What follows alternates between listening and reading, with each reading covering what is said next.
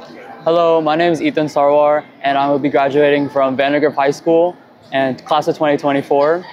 So Ethan is graduating from high school. The whole idea is extremely surreal to me. I, it hasn't sinked in yet. So anytime I look at you, I think of you like a little baby um, when I first held you. From there to that little mischievous toddler. I'm really excited to go to college at UT Austin in the fall studying under the Polymathic Honors Program, uh, Public Health, as well as a minor, a triple minor in Statistics, Epidemiology, and Data Science.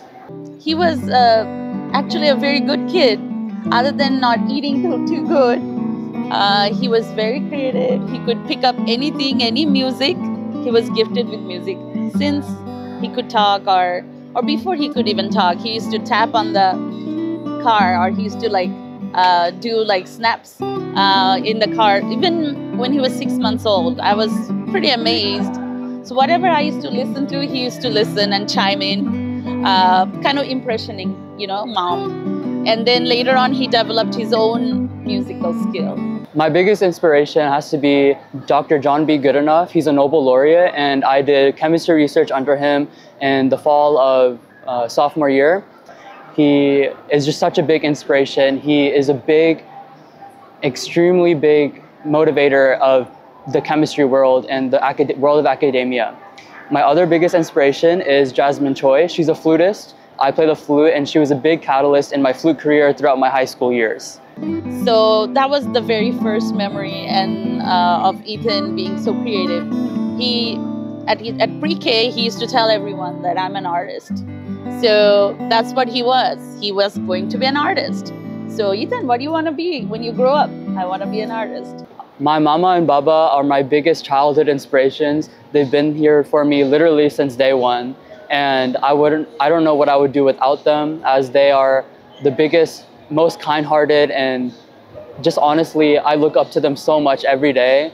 Um, I truly don't know what I would be here without them, and I love them with the bottom of my heart, and I thank them every day for being here with me.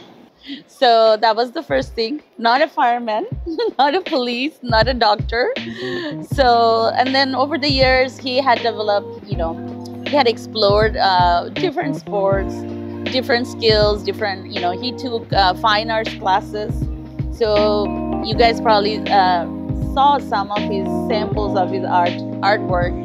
So I think he's extremely creative, way more than me and Babu. but um, we're just extremely proud of you. I'm really proud of my Bangladeshi community, and they have been the truest supporters, tried and true, of me since day one.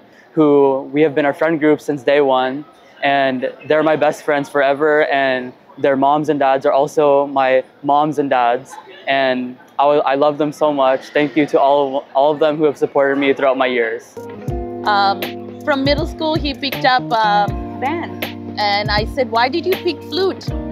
Uh, because this is the smallest case I have to carry. he got into all the instruments. Um, you know, when fifth grade they try out different uh, instruments. He was offered anything. He could pick anything because before that he used to very good at piano. So his musical, you know, knowledge was amazing. I would like to thank Dr. Hadi and Dr. Kelder for supporting me throughout my chemistry and public health research endeavors. They've been there for me since day one of high school and they've exposed me to the world of academia. I really do thank them for all their support. Thank you guys so much. So uh, one particular thing about Ethan, he's not only, you know, we are parents always, of course, it's our job to encourage him, but he's always encouraging us too. So during COVID era, when I started writing fictions, um, he used to ask me every night, Mama, how many more pages did you write? What did you write? And he used to be my biggest critic.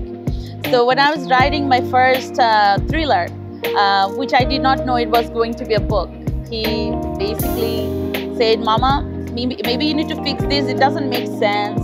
Uh, so he used to be a very strong critic. I would like to do a personal thank you to Mrs. Van Doren, um, who she recently had a baby and she will be retiring or taking sabbatical this year.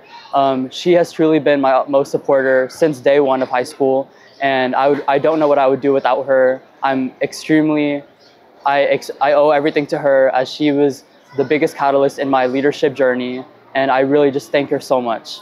I would like to thank my Nana or Nanu. They've been taking care of me since I was born, and I don't know what I would do without them. They're getting older now, but the years that they've taken care of me have never passed, and they'll always stay with me for the rest of my life. I love you, Nana or Nanu. Bangladeshi community in Austin uh, was extremely easy because we have so many supportive friends, family members, who I think they are my family members, even though they, we're not blood related.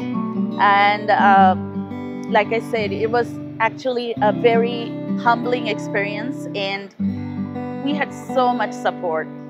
Ethan was encouraged always, and he, they were the biggest cheerleaders. So I thank the whole community. It's not easy to raise a kid uh, alone uh, or as a couple, me and my husband Babu, but the community made it easier, much easier for us.